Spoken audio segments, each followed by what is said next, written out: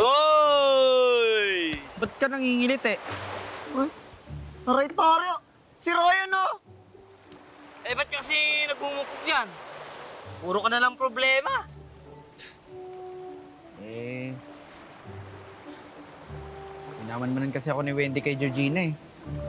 Minaman man na ni Wendy kay Georgina. Bakit? Girlfriend mo ba siya? Alam ko naman yun, pre. Pero... Pero ano? Nag nagdadalawang isip ka. Ay nako, Toryo. Lover boy ka talaga, no? Pogi problems. At tandaan mo, mahirap mamangka sa dalawang ilog. Kaya ngayon pala mag-isip-isip kang mabuti. Pero kung kami tatanungin mo, isa lang naman talaga sagot dyan eh. Di ba, Roy? Hmm. Si, Si Pose. Wendy. Bopol, sinong pose? Pink black. Eh, bakit? Blank ako eh. Bakit nyo ba? Ano, tutulungan mo ba akong tulungan si Toryo o ano? Puro lang kasi love life ni Toro yung usapan natin. Wala naman kasing bago dyan. Wait.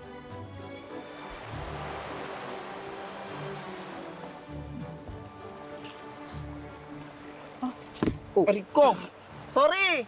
Hindi sinasadya. Nananadyan. Kanina. Problema ba kayo sa akin? May naisip ako. Ngayon, ako si Wendy, ay este teacher mo. So, meron akong bright idea sa statistic. Hindi ko alam yun? statistic din eh, pero I'm a teacher now and makinig ka sa akin. Sigurado, effective to. Effective to, men. Effective. So, ganito ang gagawin natin. Teka lang. Maglalaro tayo ng pros and cons para kay Toryo. Saan mo na naman natutunan yan? Ginawa na namin to na dati ni Bella nung nagpaplano kami magtayo ng bar. Ay, speaking of, nakahanap na kami ng pwesto ng bar. Eh?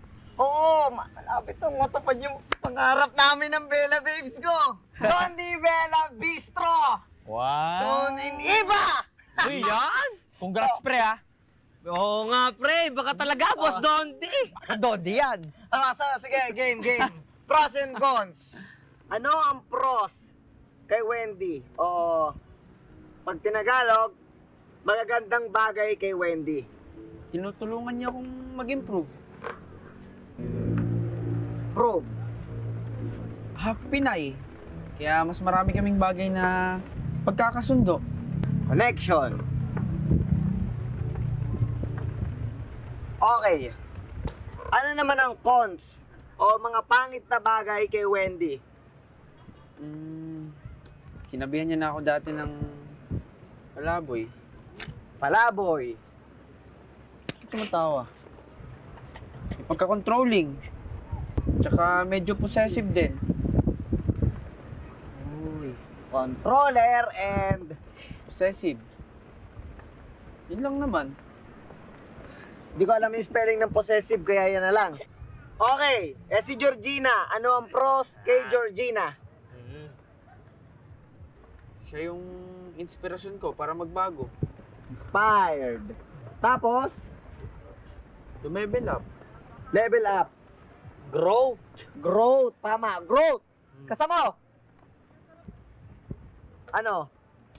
Tsaka marami din kasi akong experience na first time ko lang maranasan dahil sa kanya.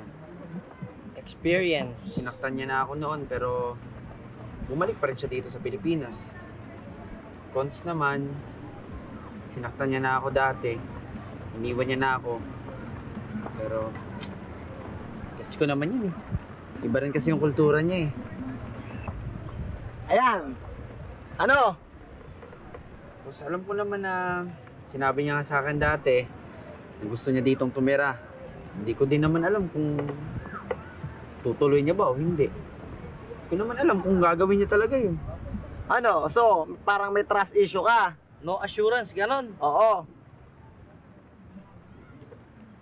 Parang LDR na rin yun, Roy, no? Oo. LDR. Ayan, kasi wala naman kayo kasiguraduhan. So, sa daming pros and cons na yan, Toryo, tingin mo, Sino yung para sa'yo?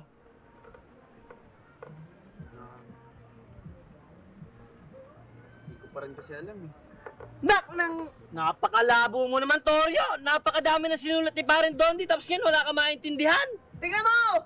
Tingnan mo! Ipupukpuk ko na sa'yo to! Ang dami ko sinulat! Patay sa'yo, Torio! Wala. Nag-iisip ka ba? Think, Torio! Think! Dalian mo naman. So, Ito na nga ako. Si Bruno nga lang eh. Oh, ano ba yan? Is yung sulat mo. Thank you for coming back. I uh, ano ang spelling ng appreciate? Nga yan? Ano ba yan? Wow. Dear Georgina, I want to sincerely thank you for coming back. I, uh, appreciate Paano ba yun?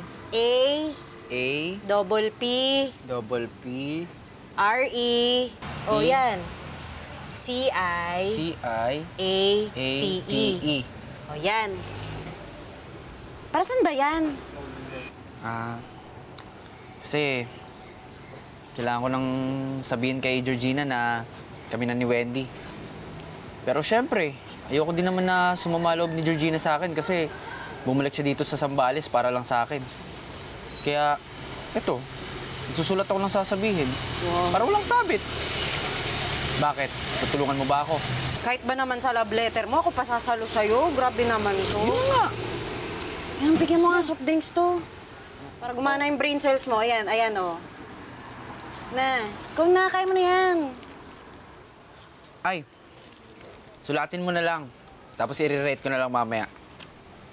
Si Isla naman, parang di tropa to eh. Sige na nga, na. Konti lang. Oh. Basta libre mo ang bulalo, ha? Oo naman.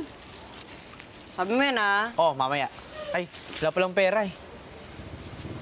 Pag nagkapera ka, libre mo ako. Ah, sige. Ikaw, gusto mo?